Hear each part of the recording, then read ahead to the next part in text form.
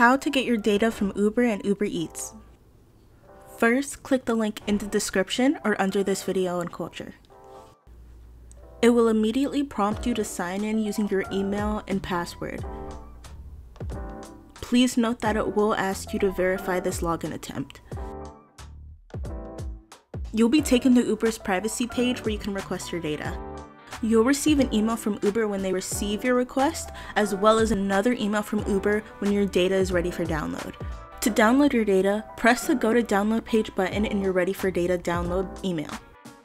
It will prompt you to log in with your email and password, as well as verify your login attempt.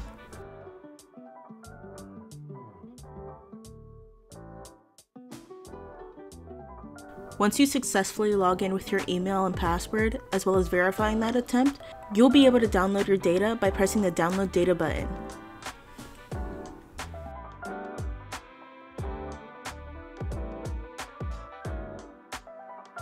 When you open the zip file provided, you will receive your Uber data folder. Inside that folder, there will be four separate folders, one of which is the Eats folder,